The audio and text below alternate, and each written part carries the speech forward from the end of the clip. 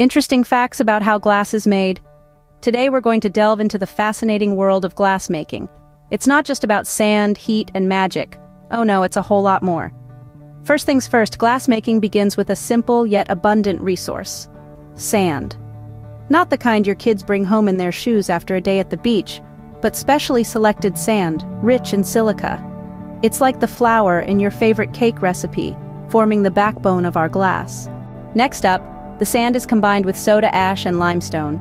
It's a cocktail of sorts, but definitely not one you'd want to sip on. The soda ash lowers the sand's melting point, which saves energy, and the limestone helps the glass become more durable.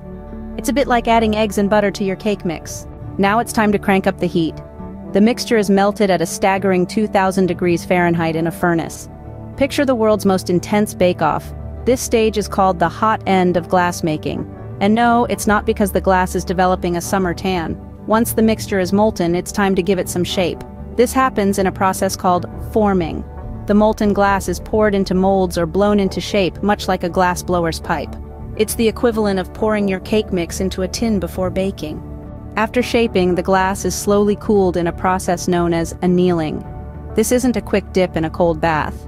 The glass takes its sweet time, cooling slowly to relieve internal stresses. Imagine leaving your cake to cool before you can ice it. Patience is key here.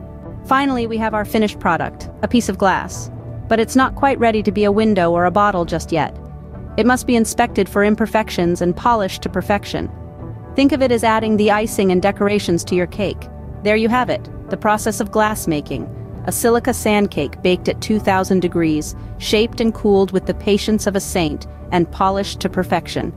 It's a bit like baking a cake, if your oven was as hot as the surface of the sun, and instead of eating your creation, you used it to make beautiful art or store your favorite beverage in. That's just the beauty of glass. You can use it to make many beautiful and useful things. I hope you enjoyed this simple yet interesting video. Stay tuned for my next video on how chocolate is made. Until next time, keep on looking through those glass windows of curiosity. Coach Delxi.